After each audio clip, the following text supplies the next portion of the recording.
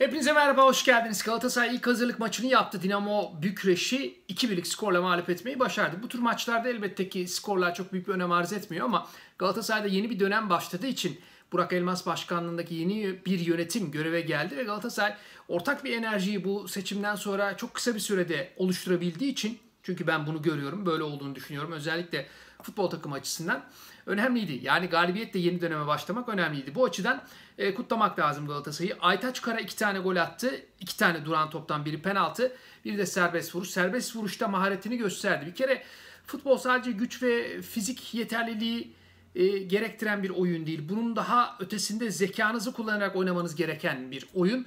Aytaç Kara zeki bir oyuncu. Kasımpaşa'da oynadığı dönemde daha önce Bursa Spor'da, Trabzonspor deneyiminde de hep aynı şeyleri düşünmüştü ve Galatasaray'a transferi söz konusu olduğunda bunun son derece isabetli olacağı kanaatindeyim.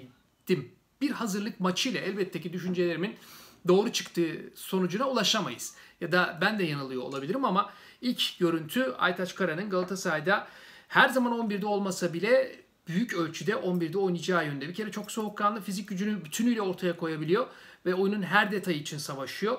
Orta sahada çok mevkide oynatabilirsiniz. Gerekirse savunmanın merkezine çekebilirsiniz. Yani çok zorlandığınız anlarda sakatlıklar, kırmızı kartlar maç içerisinde her şey olabiliyor. Bu durumlarda Aytaç size bir savunmacı olarak da görev e, yapabilir ve hizmet verebilir Galatasaray'a. Bu açıdan da faydalı olabilir. Söylemeye çalıştığım şey bu. Ama genel itibariyle çok soğukkanlı ve aklıyla oynuyor. Serbest vuruşta e, barajdaki oyuncuların zıplayabileceğini, erken e, reaksiyon gösterebileceğini hesap ederek ortaya doğru vurdu ve iyi bir gol attı. Penaltıda da çok soğukkanlıydı. Alparslan Öztürk Galatasaray'ın yediği golde topu belki ıskalamış olabilir ama genel itibariyle çok savaşan, deyim yerindeyse tam anlamıyla savaşçı bir futbolcu ve yeni transferlerden Alparslan Öztürk'ün de ben başarılı olacağı kanaatindeyim. Bu gördüğümüz maçta pek çok oyuncu yeni dönemde Galatasaray'da olmayabilir. Özellikle yabancıları kastediyorum. Sekidika'nın, Ozon Vofor zaten böyle bir maçta da oynatılmadığına göre hiç düşünülmüyor anlaşılan o. Sekidika'nın da ben yeni dönemde görev alamayacağını işte gördüğümüz e, takımda eğer stoper alınamıyorsa Luyendama ve Babel'in e, 11'de e, büyük ölçüde yer alacak futbolcular olduğunu söyleyebiliriz. Bunun dışında diğer oyuncuların e, bu takımda geniş kadroda ve 11'i zorlayabilecek grup içerisinde yer alıp almayacağını görmek istedi Fatih Terim.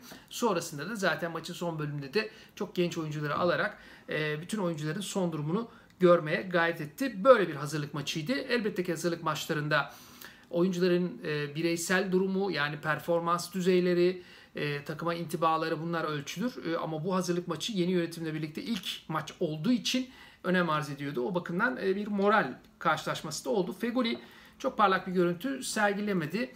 Aldığı topları genelde kaybetti. Rakiple birebir mücadelelerde kazanan taraf olamadı. Feguli belki sonradan geç tuta, ge, e, sonradan form tutan, geç form tutan oyunculardan bir tanesi. E, elbette ki yetenekli ama e, bu halini, bu görüntüyü değiştirmediği sürece takımda kalması zor. Çünkü daha önce de söylemiştim zaten Feguli'nin aldığı maaş büyük bir yük Galatasaray'ın yeni yönetimi üzerinde. E, dolayısıyla çok yüksek maaş alan futbolcularla devam etmemek gibi bir zarureti var Galatasaray yönetiminin. E, Feguli ile bir şekilde anlaşmak istiyorlar. Önce olursa yolları ayırmak tabii en iyisi bu Galatasaray için ve Galatasaray yönetiminin de istediği bu ama Feguli buna yanaşmayacaktır. Bir sezon daha sözleşmem var ve neredeyse 4 milyon euroya çıkan 4 e, milyon euroya varan bir ücret kazanıyor. Bu ücretten de feragat etmek istemeyecektir Feguli. Ve e, ama onu bir şekilde belki bir sene sözleşmesini uzatıp ücretini yarı yarıya düşürme teklifiyle ikna edebilirse Galatasaray yönetimi ikna edecektir. Ama şu haliyle ben Galatasaray futbol takımında 11'de olabileceği kanaatinde değilim. Sofyan Fegül'ün daha önce de söylemiştim sizlere. Bir önceki videomda Galatasaray'ın çok yüksek maaşlar ödeyemeyeceğini, çok büyük transfer bedelleri ödeyerek transfer yapamayacağını söylemiştim. Bu bir realite. Geçtiğimiz hafta bu realite çok net bir biçimde Galatasaray'ın yeni yönetiminin önünde e, önüne çıktı ve e, bu çerçevede çalışmaları sürdürüyor ama Galatasaray'ın yeni yönetiminin bir avantajı var. Daha önce yaptığı futbol takımı ile ilgili yaptığı transfer çalışmaları var. 12 oyuncuyla görüştü Galatasaray. Bunu da e, söyleyen bizzat Sayın Başkan'dı seçimden önce. Burak Elmas bunu söyledi. Bu bir avantaj. Yani bir ön hazırlığın olması, belli oyuncularla protokol yapılmış olması. Tabii Fatih Terim'in de e, bu konuda bilgisi ve talepleri var. Bu talep ve bilgi çerçevesinde bu transferler ve görüşmeler yapılıyor. E, bu bir avantaj. Yani birden e, ne olduğunu anlamadan transfer borsasının içine girmiyor Galatasaray yönetimi. Zaten transfer piyasasını süzdükten sonra gerekli doneleri elde edip görüşmeleri yaptıktan sonra hali hazırda başlattığı çalışmayı yürütüyor. Bu büyük bir avantaj. Benim söylediğim yani Galatasaray yönetimi bir zaruret içerisinde çok büyük paralar ödeyemeyecek. Ne maaş ne de bonservis parası yani transfer bedeli parası. Bu söylediğim Galatasaray yönetiminin transfer yapmayacağı anlamına gelmiyor. Ama böyle çok yüksek maaşlar alan işte yıldız niteliğinde dünya futbol piyasasında tanınmış oyuncuların gelmeyeceği anlamına geliyor. Ha kupon transfer olarak nitelendirilebilen avantajlı transferler olabilir mi? Örneğin Paulinho'dan bahsediliyor. Çin'deki ihtilafını, Çin kulübüyle olan ihtilafını halletti, boşa çıktı deniyor. Eğer böyleyse ve Paulinho 4 milyon, 5 milyon, 3 milyon, 3,5 milyon euro istemiyorsa, çok daha makul fiyatlarla Galatasaray'da oynamaya razıysa böyle bir transfer olabilir elbette ki. Ama Yunanistan'da, Olympiakos'ta başarılı oynayan Fortunis'e gelince bu transferin olma ihtimalinin ben sıfıra yakın olduğunu düşünüyorum. Çünkü Olympiakos 8 milyon euro istiyor. Almanya'da doğmuş büyümüş bizim gurbetçi oyuncularımıza benzer bir özelliği var. E, Almancası Yunancasından daha iyi Fortunis. Ama bütün bu kişisel özellikleri bir kenara bırakırsak çok faydalı, oyunu iki yönüyle oynayabilen, her iki ayağında kullanabilen, çok gerçekten e, orta sahada yani forvetin arkasına koyduğunuzda çok verim alabileceğiniz bir oyuncu. Daha önce Fenerbahçe, daha önce Beşiktaş'ta talip olmuştu ama alamadılar. Almaları çok zor. Çünkü Fortunis için Olympiakos'un istediği rakam çok yüksek 8 milyon euroyu bu koşullarda vere, verebilmek imkansıza yakın. Çok da akılcı değil. Çok daha e, rasyonel tercihler olabilir ama muhakkak mutlak bir biçimde Galatasaray'ın forvet arkasında oynayabilen ve gücünü 90 dakika kullanabilen bir oyuncuya ihtiyacı var.